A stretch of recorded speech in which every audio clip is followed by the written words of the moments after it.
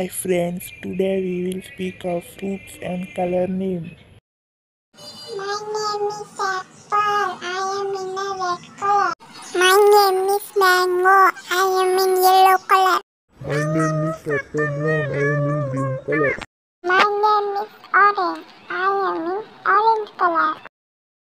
My name is strawberry. I am in red color.